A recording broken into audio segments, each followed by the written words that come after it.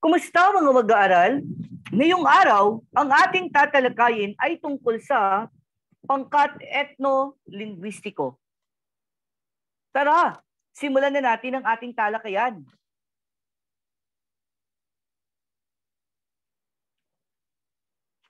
Pangkat etno-linguistiko sa Asya. Asyano ang mga taong naninirahan sa Asya. Nakikilala din sila batay sa mga bansang pinagmulan gaya ng Pilipino na nagmula sa Pilipinas, Japanese mula sa Japan, Vietnamese na mula sa Vietnam. Maaari ding kilalanin ang mga Asyano batay sa pangkat etnolinguistikong kinabibilangan. Ano nga ba ang mga ito? Ang pangkat etnolinguistiko ay tumutukoy sa pangkat ng mga tao sa isang bansa na may magkakaparehong wika, kultura, at etnisidad. Kalimitan, ang isang bansa ay binubuo ng iba't ibang pangkat etnolinguistiko kagaya ng Pilipinas.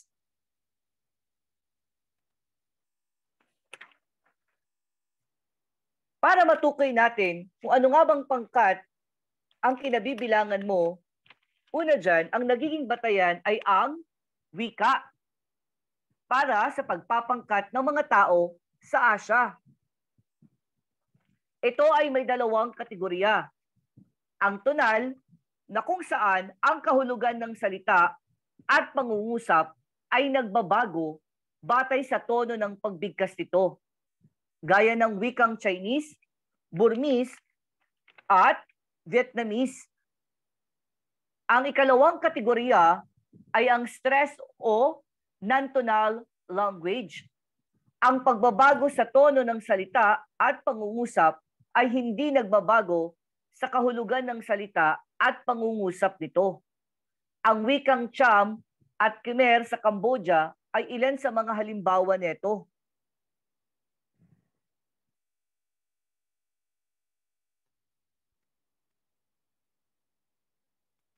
Bakit nga ba mahalaga o bakit mahalaga ang wika? Sinasabi, ang wika ang pangunahing gamit ng mga tao sa pakikipagtalastasan sa kanyang kapwa, katulad ng ginagawa natin sa araw-araw. At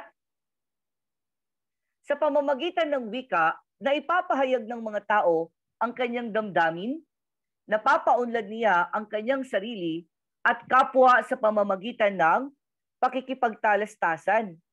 Sinasabing, ang pangunahing batayan ang wika sa paghubog ng kultura ng mga etnolinguistiko. Ito ang nagsisilbing pagkakakilanlan ng bawat pangkat. Kung nais mong suriin ang kultura at kasaysayan ng isang lahi, kinakailangang pag-aralan mo ang wika nito. Kaya napakahalagang matukoy natin kung bakit napakahalaga ng ating wika. Sinasabi nga na sinasalamin ng wika ang kultura ng isang bansa na kung saan makikita natin ang yaman ng kanilang pinagmulan at kung paano ito sinasambit ng bawat isa katulad ng ating bansa.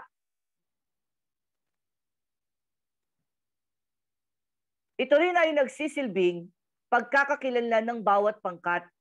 Kung nais mong suriin ang kultura at kasaysayan ng isang lahi, kinakailangan mong pag-aralan ang wika nito. Sinasabi nga, sinasalamin ng wika ang kultura ng isang bansa.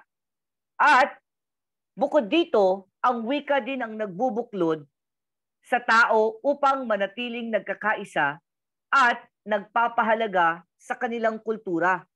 Kaya't mahalaga ang papel ng ginagampanan ng pamahalaan ng bawat bansa upang isulong ang pagkakaroon ng isang wika sa kanilang bansa.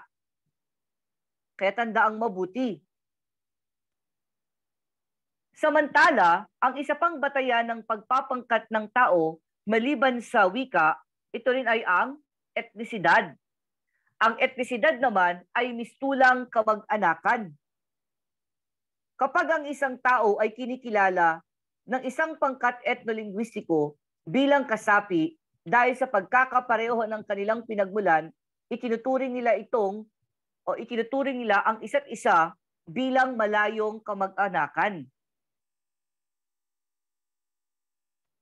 At ang pagkakapareho ng wika at etnisidad ay nagiging batayan ng pagpapangkat ng mga tao. Itinuturing nila ang ibang pangkat etniko, ang mga taong kaiba ang wika, etnisidad, kultura sa kanila at ang pagkakaiba nito ng pangunahing katangian ng mga Asyano. Kaya kung mapapansin nyo, sa Pilipinas o sa bahagi ng Asya, may iba't uh, mayroon tayong limang rehiyon na kung saan nahahati o pinangkat ang iba't ibang rehiyon sa Asya na kung saan sila nabibilang na mayroong pagkakapareho ng kultura, wika at etnisidad. Katulad po ng mga nasa larawan.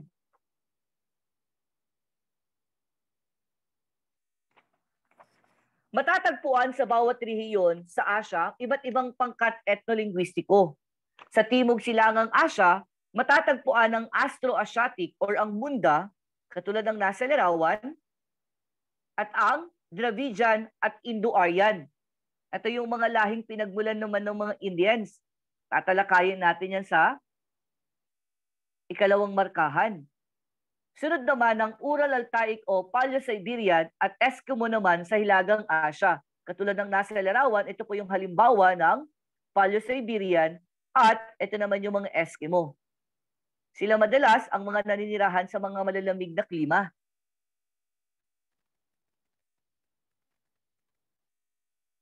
Dahil sa estratehikong lokasyon ng Hilagang Asya, matatagpuan dito ang iba't ibang pangkat ng tao gaya ng Turk, Afghan, Kurd, Persian, Hittites, Assyrian, Jew, Armenian, Arab, Canaanite, Lydian, Sumerian, Elamite, Kasite, Hati, Hald, Huri, at Lishan.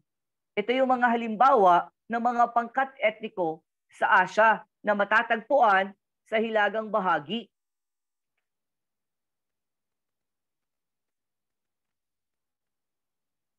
Sa Timog Silangang Asya naman, dalawang pamilyang lingwistiko ang makikita.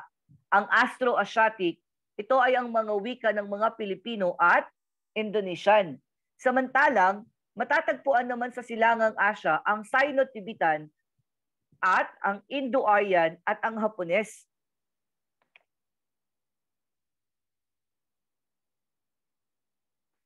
Sinasabi nga, maaari ding kilalanin ang pangkat etniko batay sa kanilang paninirahan.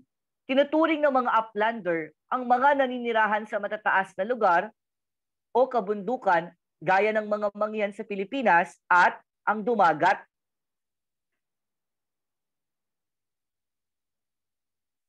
Ito naman, Karen at Mong sa Thailand. Ang mga, kung mapapansin nyo, ito po yung mga halimbawa ng kanilang mga tribo na matatagpuan sa bansang Thailand. Samantalang, ang lowlander naman ay naninirahan sa kapatagan at baybay dagat gaya ng ethnic ng Lao o Lao ng PDR o ng bansang Laos at Kin o Viet sa Vietnam.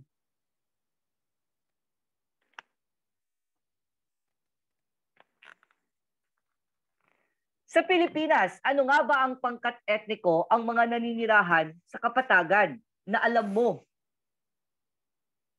Tandaan mo yan, sasagutin natin yan sa ating talakayan.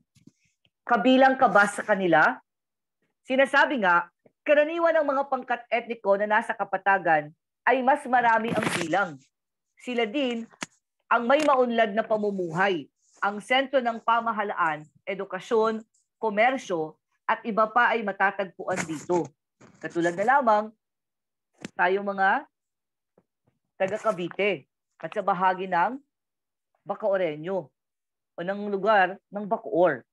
Samantalang, ang mga naninirahan sa kabundukan Pakaunti ang bilang at sinisikap na mapanatili ang kanilang kultura sa kabila ng kapuspusan o kakapusan sa mga pina- uh, pangunahing pangangailangan at hamon ng mga makabagong panahon. Ito ang isa sa mga maaring suliranin ng mga naninirahan sa mga kabundukan.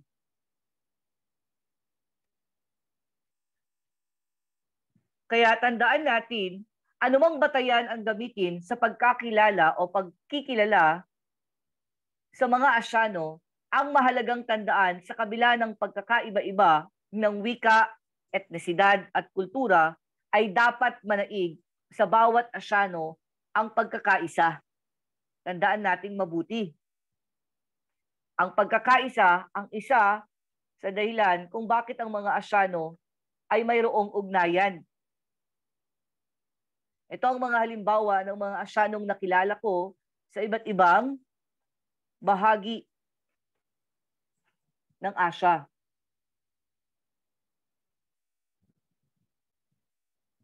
At mayroon din tayo sa ating mga dayuhan, katulad ng kusaan, bahagi ng ating kasaysayan ng mga Malayo, Indonesyo, Negrito, Tagalog, Igorot, Maranao,